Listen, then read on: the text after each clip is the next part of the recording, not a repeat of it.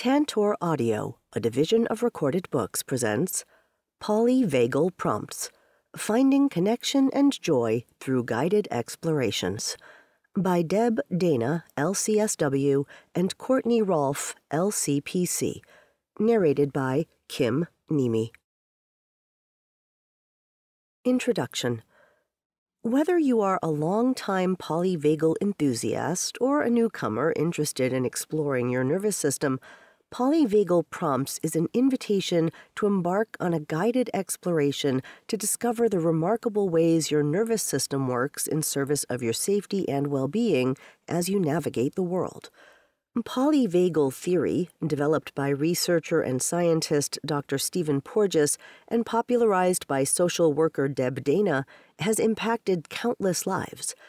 It has changed the way therapists work with their clients and has provided a pathway toward healing for those of us who have experienced hardship or trauma.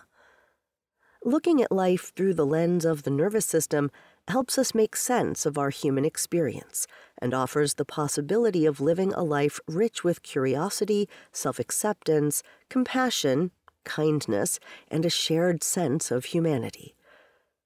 When we understand the biology behind our everyday experiences, we can set aside well worn narratives about ourselves and others, leave behind stories of self blame and shame, and step into curiosity about why we think, feel, and act in the ways we do. Polyvagal Prompts is designed to invite you to explore your nervous system. Using guided prompts, you'll have the opportunity to notice your system, listen with curiosity, and reflect on what you learn. Many of the prompts include an invitation to deepen the practice by taking the concept a step further. If you are well versed in the language of polyvagal theory, you will feel right at home and ready to start your journey. If you are new to polyvagal theory or want to review the concepts before you begin exploring the prompts, skip to the end with the beginner's guide to polyvagal theory. There are a variety of ways to engage with the prompts. Work with them as a daily practice or explore topics at your own pace follow the prompts in order, or hop around and choose the one that fits for you on any given day. No matter how you decide to explore, Polyvagal Prompts offers the opportunity to tune into the wisdom of your nervous system, understand the wondrous ways it works, and begin the life changing journey of befriending your nervous system. Prompts when we notice our autonomic experience, we have a chance to engage with it, not simply be engaged by it. When we notice our state and then name it, we move into awareness of our biology and out of the story our brains create. Naming our experience begins the process of letting go of judgment and self blame and making room for curiosity. The practice of noticing and naming is fundamental to our polyvagal journey. Notice what state you are in right now. What are the signs that tell you that's where you are? These could be physical sensations, feelings, thoughts, or behaviors. Use as many clues as you can to help you identify where you are on your autonomic ladder right now.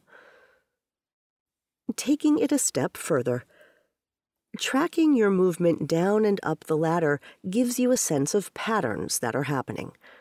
If you look back at the past hour, what places have you gone on your ladder? What was your autonomic experience? Extend your reflection. Look back on your day and track your path. Autonomic patterns are built over time. The autonomic nervous system is shaped by experience.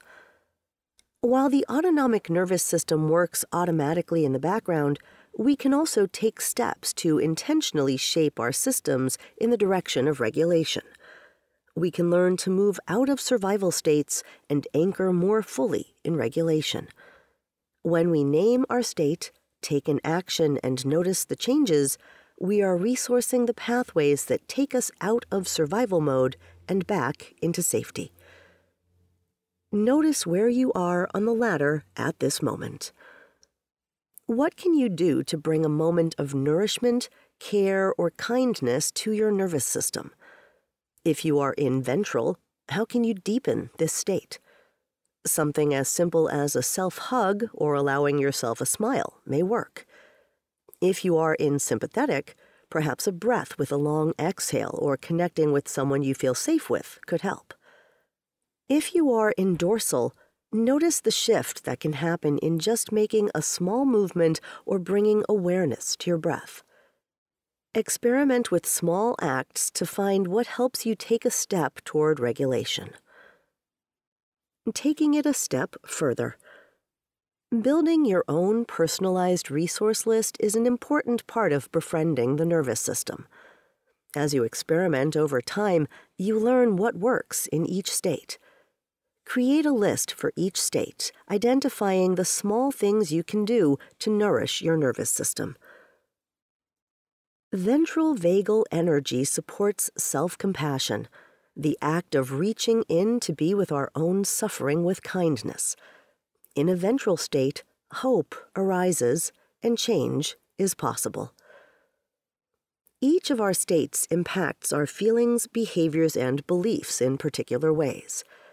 It is only from a state of regulation that we can be compassionate, connected, and curious. When we move out of regulation into adaptive survival states, we lose our ability for compassion, connection, and curiosity toward both ourselves and others.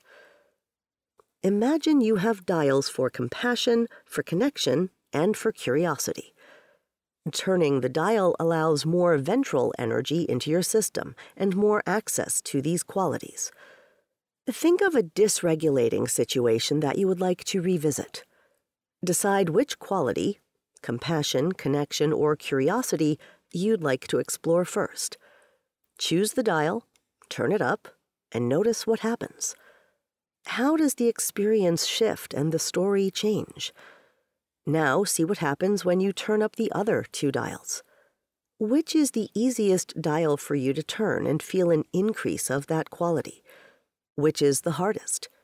Reflect on how each changes the situation.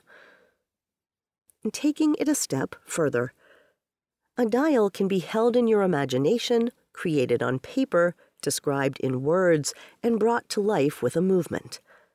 Experiment with each way and see what emerges. Find the ways that bring your dials to life. The reassuring, heartwarming news is that autonomic flexibility can be shaped over time. An autonomic intention is a way to bring awareness to our patterns of connection and protection and begin to reshape the ways we respond in our daily lives. We can look at how our nervous system brings ventral connection, sympathetic fight and flight, and dorsal disconnection, and set intentions to acknowledge, honor, and work with our patterns. Creating an autonomic intention focuses on reshaping habitual moves into sympathetic or dorsal and deepening the experience of ventral. Choose a pattern you'd like to change. Write an autonomic intention for the day. Read it out loud and see if your mind and body are in agreement. The intention needs to be strong enough to bring a change, but not so big that it's unreachable. Rewrite it in any way you need until you find the words that will help you be successful and feel encouraged to keep going. At the end of the day, reflect on your experience. What worked? What was challenging? Practice writing autonomic intentions and become skillful at bringing your brain and nervous system together in the process taking it a step further. Writing an autonomic intention and holding it over a period of time is a way to work to reshape a particular pattern. Set an intention and stick with it for a week. At the end of the week, notice what has changed. As you reflect on the week, is this an intention you want to continue to work with? Have you met your goal and are ready to move on?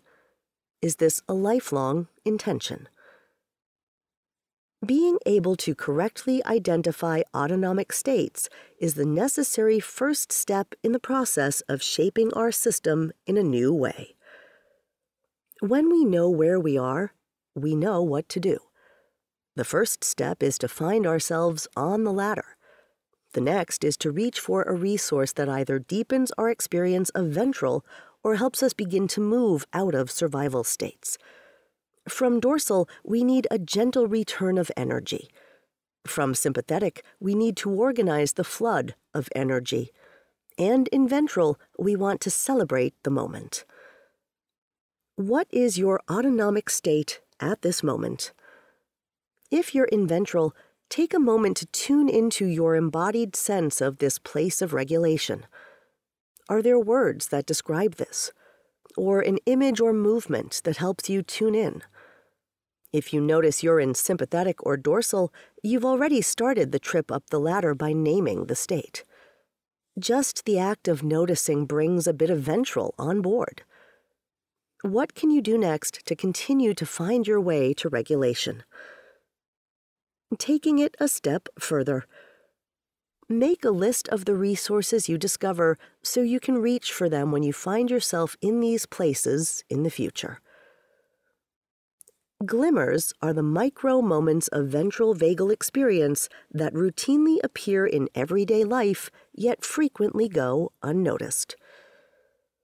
Humans are built with a negativity bias to help ensure our survival. We're wired to respond more intensely to negative experiences than to equally intense positive ones. If we don't actively look for the micro moments of safety and connection that are our glimmers, they can pass by without our knowing. Reflect on your day and see if you can find a glimmer that was on your path but that you missed at the time. Revisit the moment and feel your ventral energy come alive. Relive it as you remember. Taking it a step further, use art to illustrate a. We hope you enjoyed this preview. To continue listening to this audiobook on Google Play Books, use the link in the video description.